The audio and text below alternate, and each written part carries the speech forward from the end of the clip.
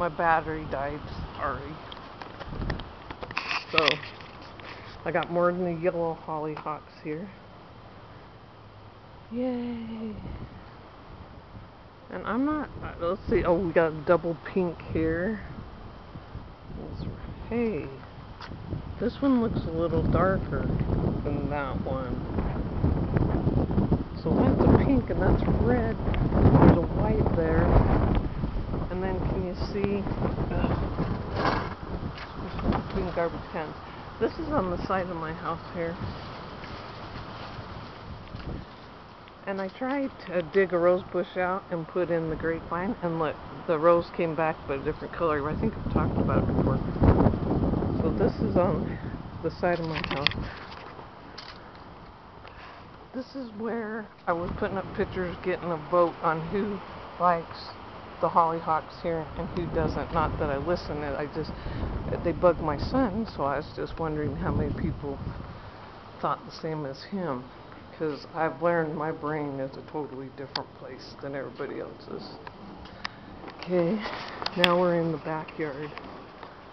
This is where I hung the in the inside of Mattress Springs. Oh, I've got to do some work. Look at these pieces going crazy so that this grapevine could grow across and give me some privacy.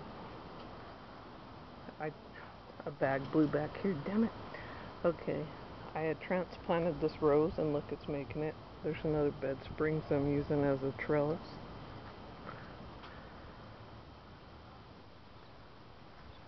See look at all that privacy. Because my deck's right there. My neighbor's deck right there. See what I mean? Okay, this is my perennial bed that I just started this year, so the lemon balm's out of control. I learned lemon balms seems to take over. My lilies are about ready to bloom. I let some hollyhocks get in here. Like I said, the black hollyhocks I haven't got to bloom yet. Damn. That lemon balm seemed to have kept some stuff from growing.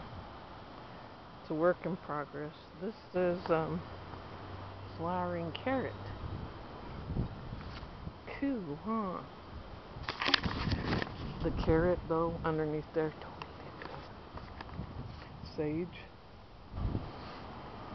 I planted some flowers in my in my garden area too, so I got some daisies, some delphinium, some there's chive, spinach, tomato, pepper, more flowering carrot. My regular carrots don't seem to be growing much though. What? I got a yarrow in there. I gotta get that hollyhock out and probably that yarrow. Got some cilantro, flowering carrot, flowering carrot. I had peas in there and they didn't do so well. Another bell pepper. Hollyhock. My spinach, tomato. Ah smells, I think, of being hurt and everything. Look, I got a pepper. Strawberries, I already ate them this morning. Um, garlic and onions, I have those put in my flower beds too, because they're supposed to help with bugs, but so, and then I, that's where my raspberries start with hollyhocks in them. Blackberries, those canes go crazy, but they don't have thorns on the blackberries. Lemon balm in there. Blackberries and raspberries, lemon balm, and grapevine. Hmm. This here is a blackberry cane. This here is grapevine growing on the black blackberry cane and the ladybug. no, you shouldn't leave it this way. I have to fix that. I'll have to fix it so it goes on there. Lemon balm. Weeds are, these are two weeds. We got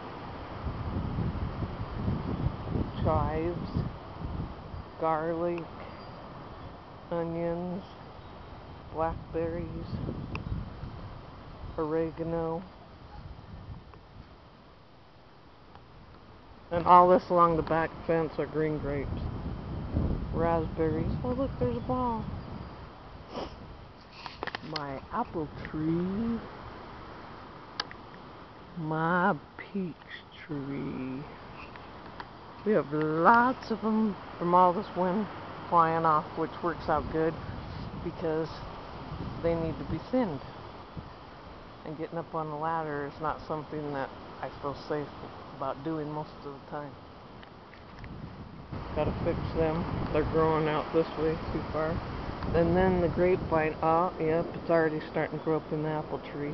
If I let it, it'll grow up all up into the apple tree. Which, we don't need all the apples. Maybe it would be kind of cool. I don't know. This was all flooded the other day. There's my bamboo. It's all a mess back there. Wind and the jets decide to fly. We'll look past my compost pile to where the wildflowers really start blooming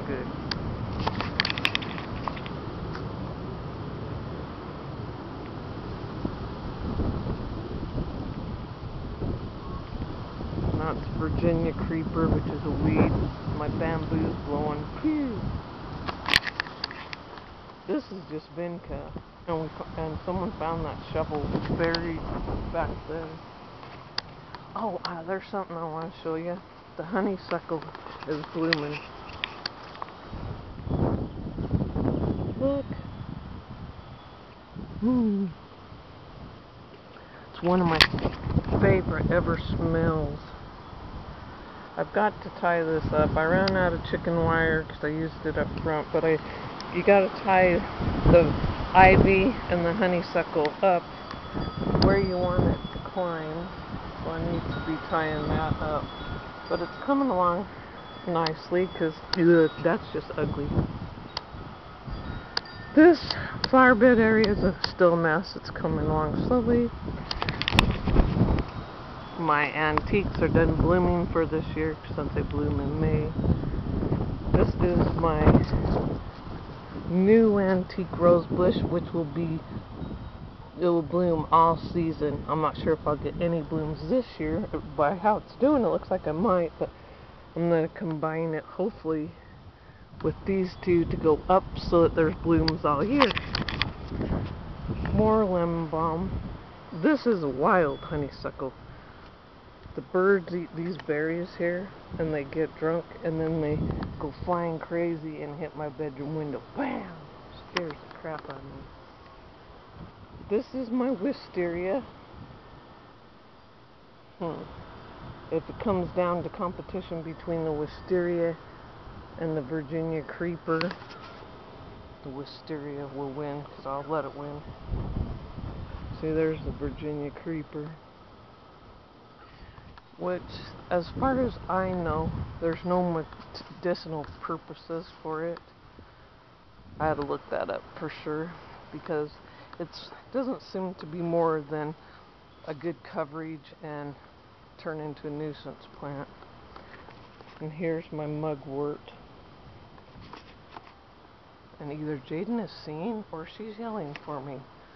I've showed y'all the whole yard, so it's just a little, little yard. Alright guys, see you later. Bye.